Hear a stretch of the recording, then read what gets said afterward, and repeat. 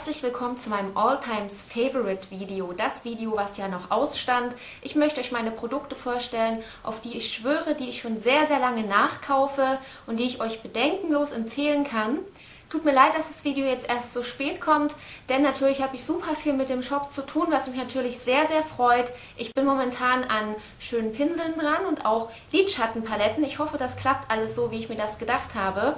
Und jetzt noch ein ganz kleines Update vorneweg, denn ich habe zwei neue Produkte im Sortiment. Viele fragen ja immer an, kommt mal was Neues rein? Ja, es kommt was Neues rein. Und zwar gibt es zurzeit ein schönes neues cremiges Lidschatentrio von Miss Cobb und das nennt sich Eyeshadow Trio Creamy Pearl. Ich habe es noch zusätzlich genannt Golden Wine at Night, denn wir haben hier eine goldig-platinartige Farbe, dann einen rötlich-bräunlich mauvefarbenen Ton und hier unten ein tiefes, kräftiges Schwarz. Dieses ist matt, die beiden anderen sind metallisch. Und ich habe heute dieses Augen-Make-up damit geschminkt, ein wenig dramatischer, indem ich natürlich eine Menge von dem schwarzen Ton verwendet habe. Hier sind die Farben nochmal geswatcht. Ich hoffe, man kann das erkennen. Hier ist der Platinton, daneben der mauvefarbene und das tiefe Schwarz. Nein, es ist keine Deutschlandflagge, obwohl das ein bisschen so aussieht. Nein, auf dem Auge sehen sie natürlich sehr, sehr schön aus. Und zum Zweiten die streichelweichesten Kabukis der Welt. Ganz, ganz sanft, super, super zart und da fragt sich, schmusen oder schminken? Ich kann mich immer nicht entscheiden. Ich finde die ultra toll. Die sind jetzt auch neu da, ganz, ganz, ganz begrenzt, ganz, ganz wenige bloß da und von denen ebenso gar nicht so viele im Shop-Angebot.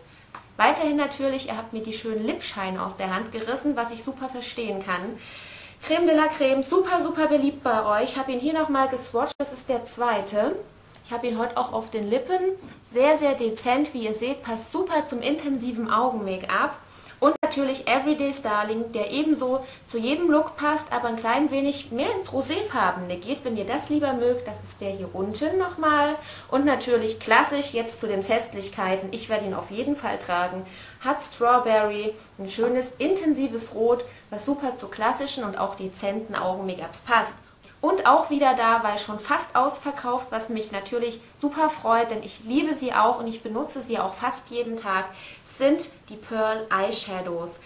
Bilder, wie sie ausgeschüttet aussehen, also richtig das Produkt im Häufchen und dann auch auf dem Auge aufgetragen, findet ihr alles im Shop. Ich poste euch den Link nochmal in die Infobox, denn das würde jetzt den Rahmen sprengen, wenn ich die jetzt noch alle ausführlich vorstellen würde. Die habe ich ja schon mal ausführlich in meinem Swatches-Video vorgestellt. Das poste ich auch nochmal, falls ihr es noch nicht kennt und euch mal anschauen wollt. Okay, jetzt geht's los mit meinen Favoriten. Wir arbeiten uns von oben nach unten durch. Natürlich beginnen wir bei den Haaren. Meine absoluten Lieblingshaarpflegeprodukte sind nach wie vor, seit ich diesen großen Test gemacht habe, die Sios-Produkte. Ich blende euch hier nochmal ein Foto von denen ein.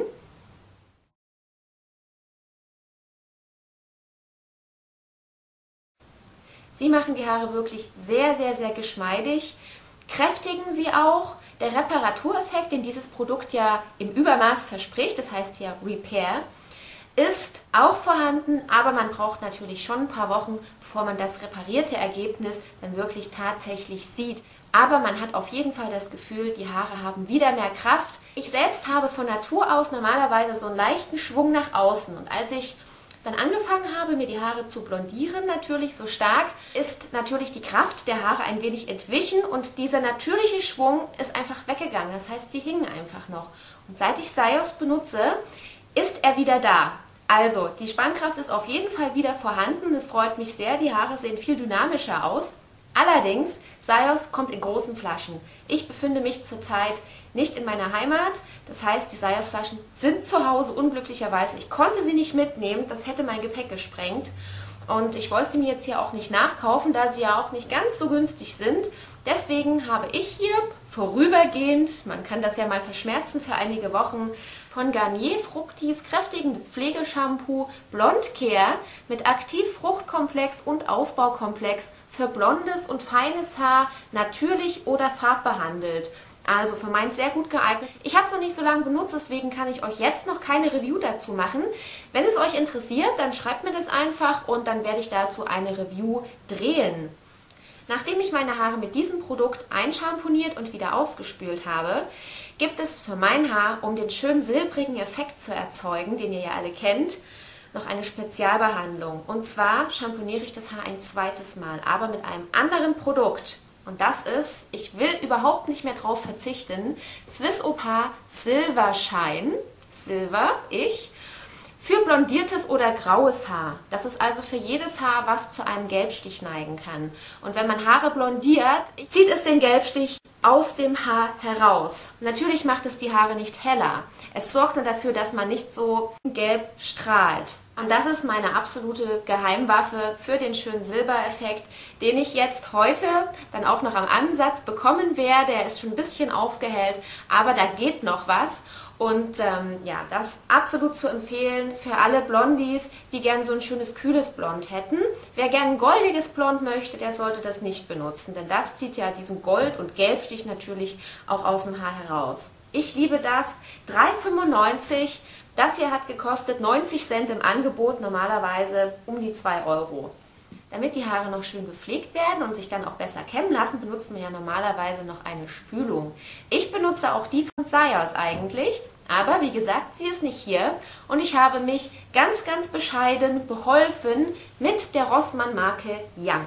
Young, Seidenglanzspülung mit hochwertigem Weizenprotein für trockenes und strapaziertes Haar.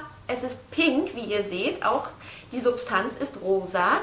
Sie riecht nach Rose und macht die Haare wirklich, ich muss es sagen, sehr, sehr, sehr geschmeidig. Wie ich erkennen kann, sind ja auch keine Silikone drin und ist für den günstigen Preis wirklich ein schönes Produkt, was die Haare ganz, ganz leicht kennbar macht und auch wenn sie trocken geföhnt sind oder luftgetrocknet, wie ihr möchtet, und man greift rein, sind sie noch ganz, ganz zart, fließend, richtig geschmeidig lassen sich trotzdem noch frisieren, also sie gleiten einem nicht aus der Hand. Ich muss sagen, das ist wirklich eine tolle Übergangslösung, wenn ihr gerade irgendwo unterwegs seid und gerade mal ein neues Haarpflegeprodukt braucht, was vielleicht auch nicht so teuer ist, weil ihr seid gerade nur auf Reisen oder habt nicht so viel Geld. Also, Young, wirklich, ich muss sagen, sehr begeistert, hätte ich nicht gedacht.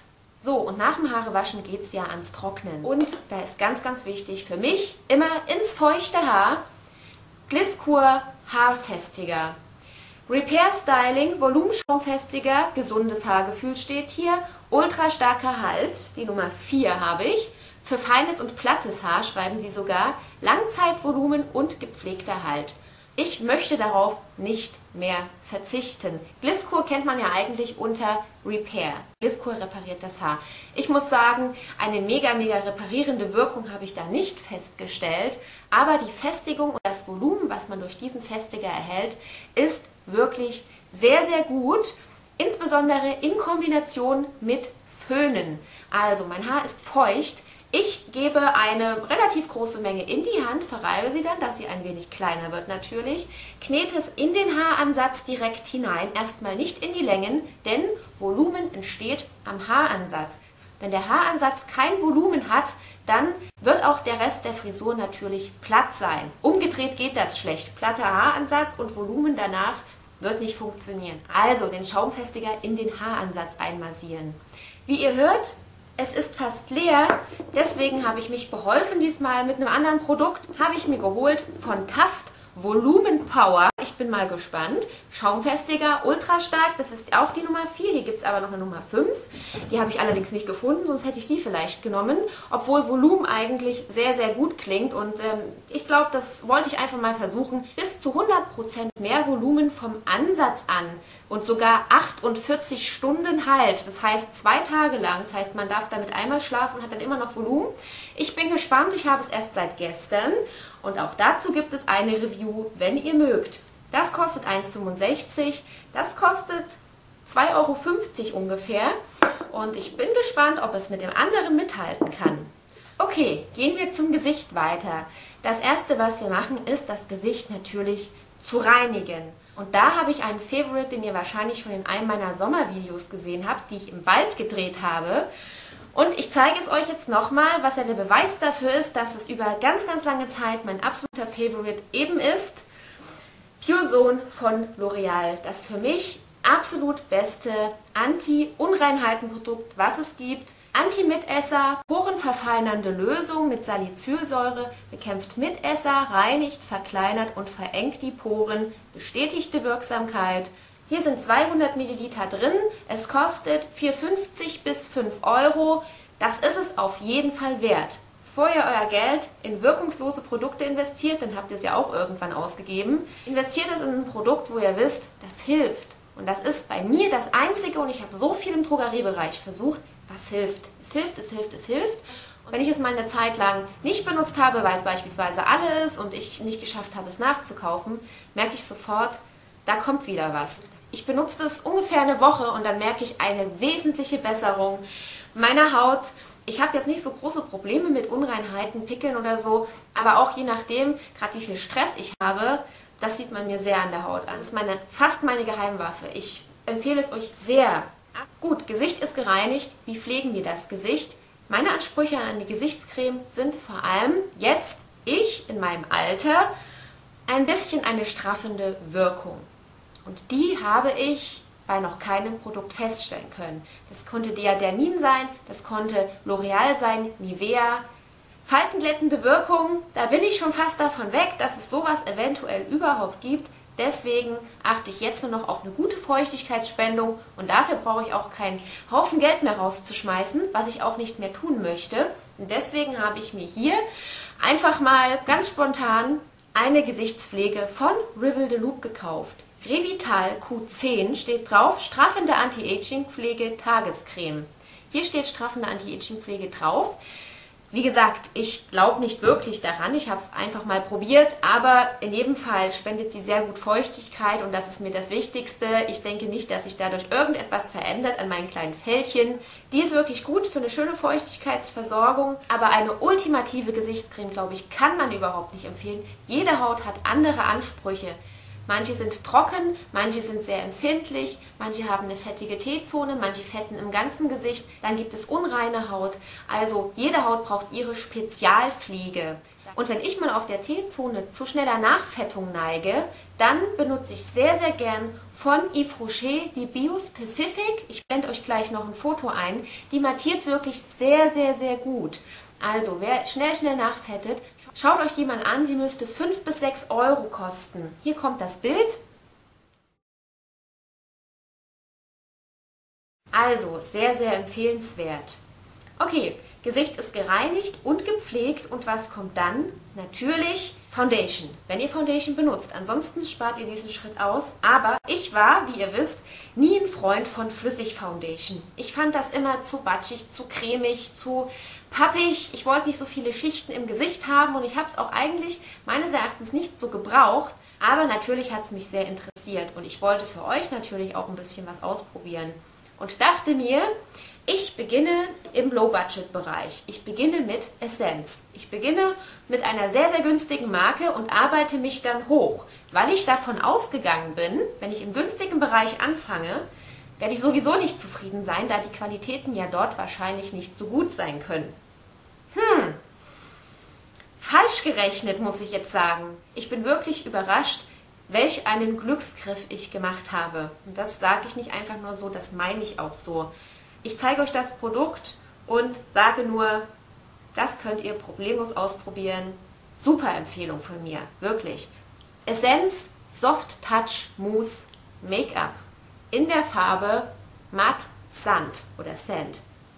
Das ist ein Mousse, das kennt ihr wahrscheinlich schon von Jade, dieses Dream Matte Mousse Make-up. Das habe ich niemals versucht, aber ich habe mich im Geschäft beraten lassen. Mir wurde gesagt, diese Mousse sind wirklich sehr, sehr gut und ich kann es nur bestätigen. Wie ihr seht, es ist schon fast alles raus. Hier unter diesen Rändern hängt noch genug, sodass ich noch für ein paar Wochen bestimmt hinkomme, denn das ist super, super ergiebig. Das hat eine ganz, ganz schöne, fluffige, leichte Konsistenz, überhaupt nicht cremig oder pappig oder das, was man manchmal über Foundations hört. Man streicht es einfach auf wie eine ganz normale Creme im ganzen Gesicht. Ich tupfe es erst immer ein bisschen und dann verreibe ich das. Super, es ergibt keine Streifen, es geht spielend leicht. Man hat das Gefühl wie von einem Hauch von nichts das Hautgefühl. Aber es deckt gleichzeitig wahnsinnig gut. Und das ist das Schöne daran. Es ist ganz leicht und es deckt super, super gut. Also wenn ihr auch ein paar Unreinheiten habt, die deckt das problemlos ab. Wenn es dann größere Pickel sind, sollte noch ein Abdeckstift hinzukommen. Den werde ich euch gleich noch zeigen, welchen ich benutze. Aber ich muss sagen, für den ersten Test und für 3,75 Euro und ich komme damit jetzt aus, bestimmt über einen Monat und es ist immer noch was drin. Also ich denke, zwei Monate kommen wir mit so einem Töpfchen aus. Also 3,75 Euro für zwei Monate. Allerdings, wenn ihr ganz, ganz, ganz helle Haut habt, dieses Produkt gibt es nur in drei Farbnuancen. Und das ist schon die hellste. Und ich empfinde sie für meinen Hauttyp, der ein bisschen gebräunt ist. Man sieht es hier nicht. Ich weiß, ich wirke immer wahnsinnig blass in diesem Licht. Dafür ist es okay. Aber ich denke, welche, die wirklich mega blass sind, da könnte es vielleicht ein bisschen zu dunkel sein. Deswegen ins Geschäft gehen, mal ein bisschen im Gesicht ausprobieren, nicht auf der Hand. Meistens ist der Handrücken ein wenig heller als euer Gesicht. Deswegen auftragen, vielleicht auch mal raus ans Tageslicht gehen, einen Handspiegel nehmen und reinschauen. Denn Produkte können im Tageslicht auch ein bisschen anders aussehen als im Kunstlicht in der Drogerie. Und wenn es in beiden Lichtern euch dann gefällt und gut zu eurem Hauttyp passt, dann habt ihr das richtige Produkt erwischt. Deswegen ausprobieren. Im Grunde absolut empfehlenswert. Ich bin sehr begeistert. Und momentan habe ich kein Bedürfnis danach, mich in einen höheren äh, Preisbereich vorzuarbeiten. Warum soll ich mehr Geld für was ausgeben, womit ich jetzt schon zufrieden bin? Okay, auf die Teezone gebe ich anschließend noch ein klein wenig Puder, denn da fettet man ja doch, auch wenn man ein schönes mattierendes Produkt wie dieses hat, ja doch nach einigen Stunden immer mal nach. Und dazu benutze ich ein Produkt, was mir netterweise vorgestern heruntergerieselt ist und in 500.000 Teile zerbrochen ist. Das kann ich aber jetzt nicht ändern. Ich benutze es ja trotzdem weiter mit einem Pinsel von Ebelin einfach hinein und natürlich auf der T-Zone ein klein wenig aufpressen, aufdrücken. Dann verschmilzt es sehr schön mit der Haut und man ist da auch über Stunden sehr, sehr schön mattiert. Dieses Produkt ist von Jade. Ich hatte ja schon mal gesagt, dass ich das Puder von Max Factor so toll finde. Allerdings wollte ich mal was Neues probieren und habe mich dann für Jade entschieden. Ich muss sagen, damit bin ich fast noch ein bisschen zufriedener, weil es doch noch ein bisschen mehr mattiert als das Max Factor, was nicht direkt als Mattierungspuder, sondern als Abdeckungs- und auch Mattierungspuder, aber nicht explizit Mattierungspuder ähm, konzipiert wurde. Also, das ist sehr, sehr mattierend und sehr gut. Nachdem ich die Foundation und das Puder aufgetragen habe, kommt der Abdeckstift und zwar auf die Partien, wo noch kleine Pickelchen und Unreinheiten vorhanden sind und die noch nicht abgedeckt worden sind durch die Produkte, die ich schon drauf habe. Von Manhattan benutze ich die Farbe Sable, das ist die Nummer 2. Und ja, ich benutze das Produkt erst ganz zum Schluss, nach Foundation und nach Puder, denn ich habe die Erfahrung gemacht, wenn man es vorher aufträgt und dann andere Produkte drüber gibt, wird dieses immer wieder ein wenig abgenommen. Dadurch, dass man natürlich mit den anderen Produkten ein bisschen drankommt und draufkommt. Ansonsten müsste man die Foundation drumherum auftragen oder auch drumherum pudern, aber man kommt ja doch immer ein bisschen dran. Also, das trage ich ganz zum Schluss auf, verstreiche die Ränder dann ein bisschen, sodass man das auch überhaupt nicht als Abdeckprodukt erkennen kann. Und dann habt ihr wirklich einen super schönen, ebenmäßigen, mattierten Teint ohne Unreinheiten und damit bin ich sehr zufrieden und das kann ich euch auch nur so empfehlen. Okay, Gesicht ist gemacht und wir fangen wieder von oben nach unten an. Die Augen. Zuerst die Augenbrauen. Da habe ich zurzeit einen sehr, sehr, sehr guten Augenbrauenstift bzw. sogar einen doppelten von Revlon Color Stay. Den hat mir die liebe Lynn geschickt. Sie hatte mal ein Video gemacht, in dem sie drei dieser Produkte an Blogger, also Leute, die einen Blog haben und da Testberichte drauf schreiben, verlost hat. Ich habe leider noch keinen Testbericht darüber geschrieben, denn ich wollte ihn erst umfassend testen und ihr seht, er ist eigentlich zum Rausschrauben und ich schraube, aber es kommt nichts mehr, denn ich habe ihn schon komplett aufgebraucht, weil er so gut ist. Lünni, danke, das ist ein tolles Produkt. Er ist in der Farbe Braun, also eine braune Farbe. Ihr seht das hier und super gut geeignet für meinen Teint. Wenn man ihn ein wenig stärker aufträgt, wird er natürlich intensiver im Ton, aber da ich ihn nur ganz leicht strichele, passt er super gut auch zu meinen hellen Haaren. Der hat wirklich eine optimale Farbabgabe auf den Augenbrauen. Er ist nicht zu kräftig. Einige geben ja zu viel Farbe ab, da hat man dann richtige Balken. Andere geben zu wenig ab, da sieht man es gar nicht. Und ich habe auch das Gefühl, wenn man ihn aufstrichelt, in Wuchsrichtung natürlich, dass er die Haare schon ein klein wenig mit fixiert. Das heißt, dass die Haare dann auch schon schön in Form liegen. Normalerweise habe ich dann anschließend immer mit einem Fixierungsprodukt die Augenbrauen noch ein bisschen gefestigt, sodass die tagsüber auch so bleiben und die Härchen quasi nicht verrutschen, sodass man dann hier eine kleine unebene Kante beispielsweise drin hat, was ja manchmal passieren kann. Mit diesem Produkt passiert das überhaupt nicht. Ich finde das super, super toll. Es hat noch eine zweite Seite, das ist ein Highlighter. Aber der Braunton, den mag ich wirklich sehr gern. Das ist ein sehr, sehr guter Augenbrauenstift.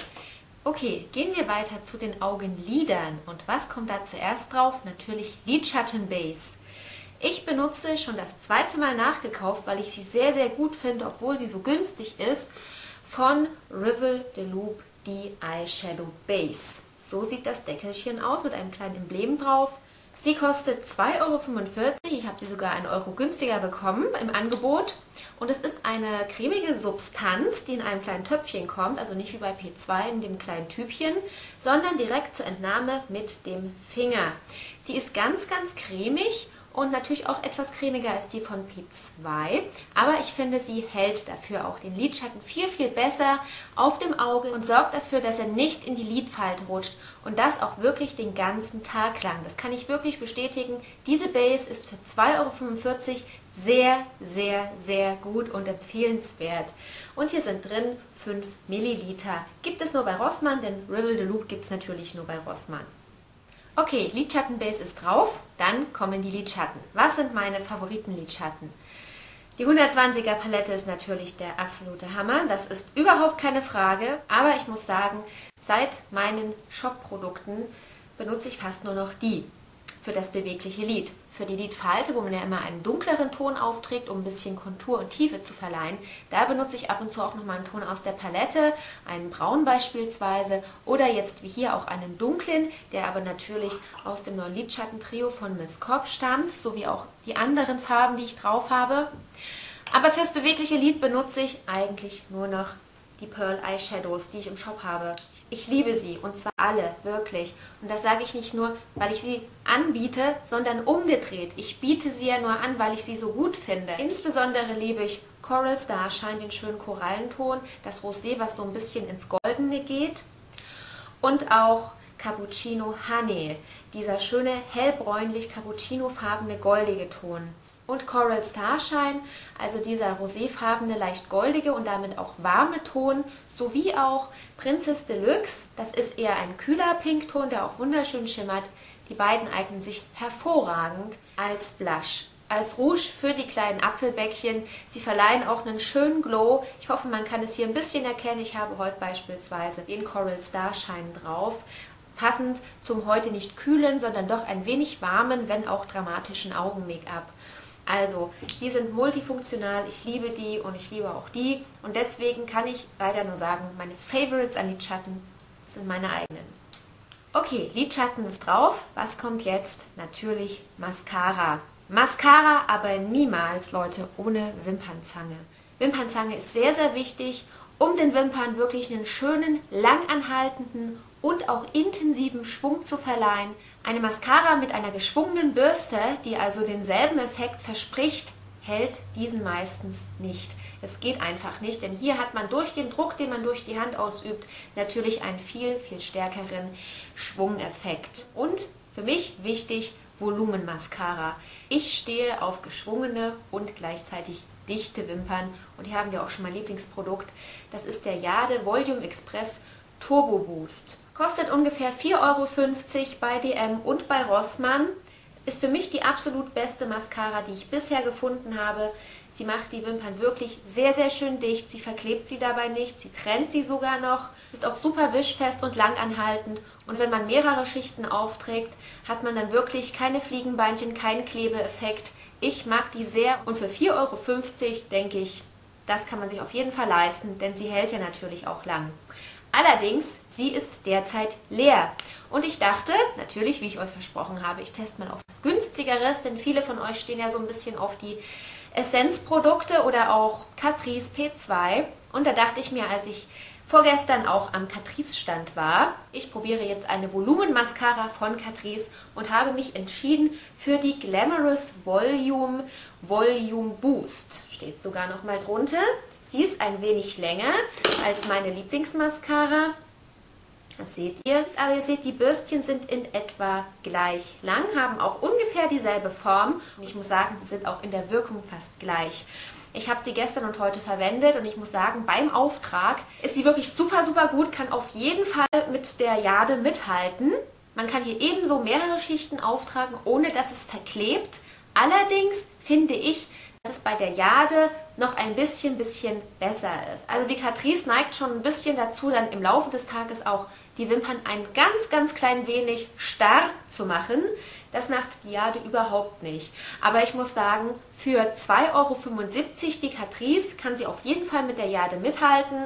Und wenn ihr jetzt zum Beispiel nicht so den False-Lash-Effekt mögt, so wie ich beispielsweise, und nur einfach ein ganz normales Volumen wollt, da finde ich die wirklich sehr, sehr gut. Das ist natürlich schon ein bisschen professioneller, aber ich werde die auf jeden Fall leer machen, die Catrice. Ich benutze die jetzt auch zu Ende. Und wer weiß, vielleicht kaufe ich ja dann sogar die nach, weil ich denke, ich habe nach der Jade gar kein Verlangen mehr. Es sind ja immerhin fast 2 Euro mehr, die man dafür ausgibt. Gut, bleiben wir immer noch bei den Augen, denn was fehlt? Stift Kajal. Jade Expression. Meine absolute Nummer 1. Die Kajalstifte von Jade sind super. Die Farbabgabe ist optimal. Sie sind weder zu hart, sprich, sie haben keine zu geringe Farbabgabe, wie einige Kajalstifte gerade von den billigeren Marken, die man ja dann meistens noch ein bisschen anwärmen muss, sodass sie die Farbe optimal abgeben. Und sie sind auch nicht zu weich, sodass man das Gefühl hat, es schmiert oder es würde dann im Laufe des Tages verwischen. Überhaupt nicht. Und den gibt es natürlich auch noch in ganz vielen verschiedenen Farben, die ja alle dieselben Eigenschaften haben und damit alle genauso gut sind.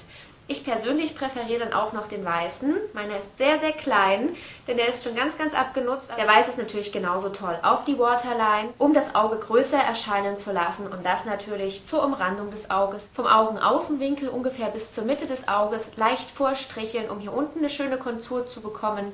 Und wer mag, auch gerne am Oberlid über der Wimpernlinie. Doch da präferiere ich meistens noch Liquid Eyeliner. Eyeliner mit einem kleinen Pinselchen, der flüssig daherkommt und für einen ganz präzisen Oberlidstrich sorgt und noch farbintensiver ist als dieser hier. Und mein Lieblings-Liquid Eyeliner ist von P2 Beauty Insider, auch in schwarz. Er kostet 2,25 Euro, kommt mit einem kleinen Pinselchen, lässt sich ganz, ganz leicht applizieren ich stelle beim Auftrag immer einen kleinen Finger hier auf die Wange, schließe die Augen halb, fange in der Mitte an und strichle mich ganz leicht nach außen, ziehe dann einen kleinen Flash nach oben, so wie ich das immer mache, das kennt ihr ja, und arbeite mich anschließend von der Mitte aus immer strichelnd ein wenig weiter nach innen vor. Ich werde da vielleicht auch nochmal ein Tutorial dazu machen. Demnächst sollen auch noch ein paar Basic-Videos kommen. Ich denke, da stelle ich das nochmal genauer vor. Aber in einigen Videos seht ihr das auch sehr, sehr gut, wie ich den auftrage. Also schaut beispielsweise mal in das Video Genieße den Herbst hinein. Da zeige ich das direkt vor der Kamera, wie ich das mache. Und das ist überhaupt nicht so schwer. Also ihr kriegt das auch noch hin. Gut, dann ist das Augen-Make-up also drauf. Und was befindet sich noch an den Augen? Natürlich hier dieser Bereich. Und da kommt Concealer drauf. Wenn man morgens aufsteht, ein bisschen zu Augenschatten neigt, ein bisschen zu Augenringen, ist Concealer wirklich unentbehrlich. Aber es muss der richtige sein, denn einige werden relativ schnell trocken. Es entstehen kleine Knitterfältchen über den Tag, gerade wenn man etwas lacht oder grinst. Dann setzt sich das in den Fältchen ab und man sieht noch viel, viel abgespannter aus, als man das eigentlich ist. Und das ist ja überhaupt nicht der Sinn von Concealer. Aber der beste, den ich bisher entdeckt habe, ist noch immer, das habe ich schon im Sommer gesagt und jetzt ist Winter, Allround Concealer von Catrice. Hier kommen fünf kleine Pfännchen. Wir haben drei Beige-Nuancen. Einmal eine dunkle, eine mittlere und eine helle. Ihr seht, die mittlere habe ich immer verwendet, die ist schon leer. Und jetzt kombiniere ich einfach die beiden. Dann habe ich auch wieder den mittleren Ton raus. Also die könnt ihr auf jeden Fall alle aufbrauchen. Hier ist noch ein roséfarbene, der zur Abdeckung von Augenschatten geeignet ist. Und hier das Grün zur Kompensierung von roten Stellen. Also Grün als Komplementärfarbe zu Rot soll dann rote Stellen im Gesicht, wenn man vielleicht auch ein bisschen Kuparose hat, aufheben. Ich muss sagen, das habe ich ein einziges Mal versucht. Ich fand es nicht so effektiv. Ich fand, man hat da den Grünstich noch sehr stark gesehen. Deswegen habe ich es auch nicht benutzt, was aber kein Problem ist, denn die anderen halten Ewigkeiten. Also wirklich seit einem halben Jahr habe ich diese Palette und die drei Töne, die beiden sind fast noch nicht leer. Der ist leer, aber er hat auch lange gehalten. Also 2,75 Euro. Ich habe sie von Müller und da seid ihr wirklich gut beraten. Wir gehen weiter im Gesicht vor und sind jetzt auf der Wangenpartie. Da gibt es drei Sachen. Wir konturieren, wir highlighten und wir setzen kleine Apfelbäckchen, wenn wir ein bisschen frisch und ausgeruht aussehen möchten. Konturieren tue ich nach wie vor. Wer mein Konturierungstutorial gesehen hat, der weiß das. Ich poste das nochmal in die Infobox, dann könnt ihr euch das nochmal anschauen. Nach wie vor mit dem Essence Soft Matte Eyeshadow in der Farbe Silky Smooth. Das ist ein schönes Schokoladenbraun. Ihr seht, hier ist schon aufgebraucht und mit dem Rougepinsel von Evelyn. Ein wenig hineinstippen, die Linie vom Mundaußenwinkel bis zum Ansatz des Ohres hier oben denken dann entsteht eine Linie.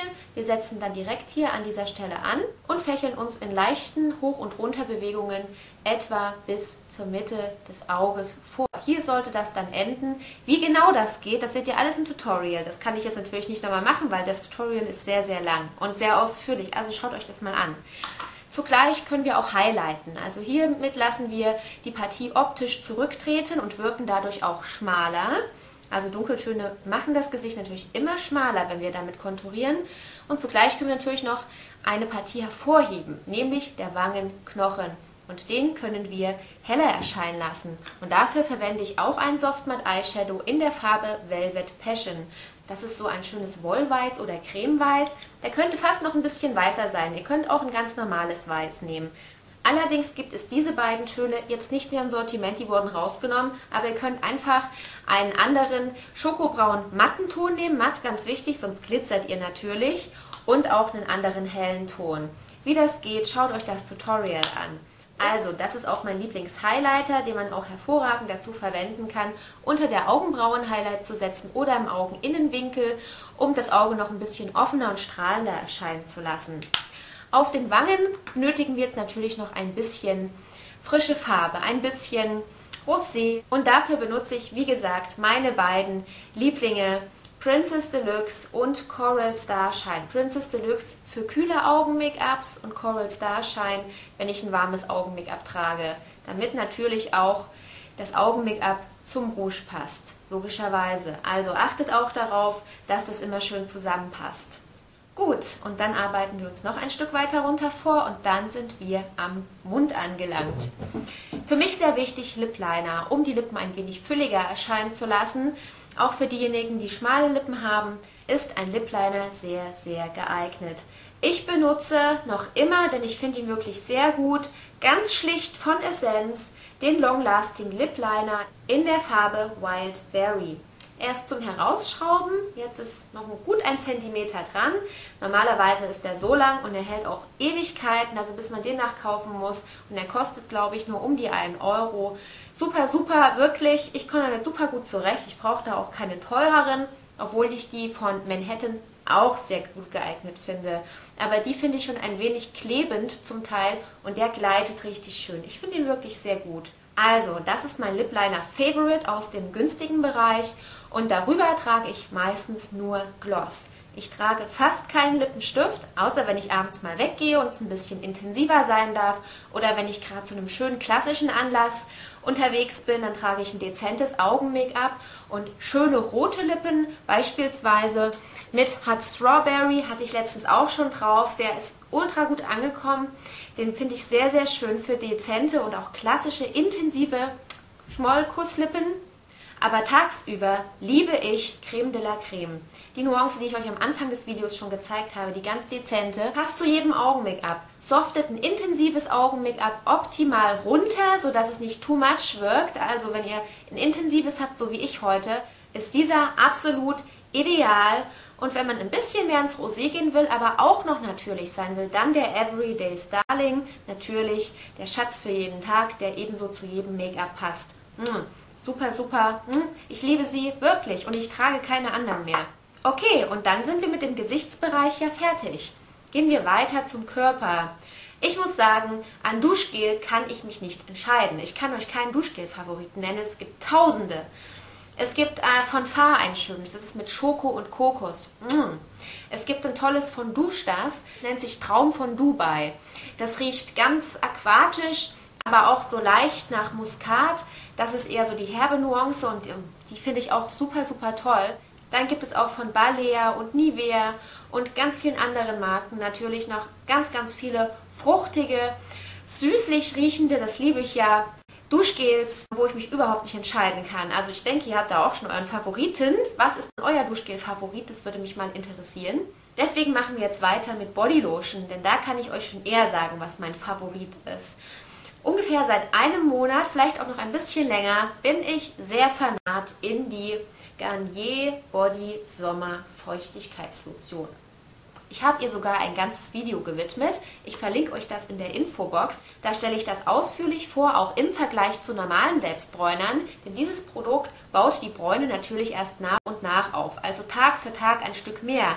Sodass natürlich auch Streifen und Patzer und was alles beim Selbstbräunen passieren kann, überhaupt nicht zutage treten und man hier wirklich das gleichmäßigste Ergebnis erreicht, was ich bisher mit einem Selbstbräuner, was er ja auch ist, aber ein ganz, ganz leichter halt, erreichen kann. Hier sind drin 400 Milliliter. Mich hat es 1 Euro gekostet, denn es war im Angebot. Normalerweise kostet es um die 4 Euro. Auf jeden Fall wert. Ich finde es sehr, sehr gut und ich benutze das alle ein paar Tage. Und wenn ich dieses Produkt nicht benutze, dann benutze ich eine ganz einfache, super duftende Bodylotion, die mir sehr, sehr gut gefällt, denn sie riecht sehr stark nach Kirschen. Mm, ich liebe es. Das ist von Balea die Soft Care Body Lotion. Sanfte Pflege für samtweiche Haut, Cherry Dream. Und das ist wirklich ein Cherry Dream. 400 Milliliter sind drin, sollte zwischen 1,50 und 2 Euro kosten. Ich liebe diese Creme einfach. Super soft, macht die Haut sehr, sehr weich und duftet unglaublich gut nach Kirschen. Das bleibt natürlich nicht den ganzen Tag. Das heißt, ihr könnt auch noch problemlos Parfüm dazu tragen, ohne dass sich das in die Quere kommt. Aber wer so einen leichten Hauch auf der Haut mag, ich glaube, das ist genau das Richtige für euch, wenn ihr sowas mögt. Ich mag das sehr. Gut, und zum Schluss, was für mich auch super, super wichtig ist und auch mit dem Körperbereich zu tun hat, ist das perfekte Deo. Ihr könnt super geschminkt sein, ihr könnt total gut gepflegt sein. Wenn euer Deo versagt, ist das alles hin.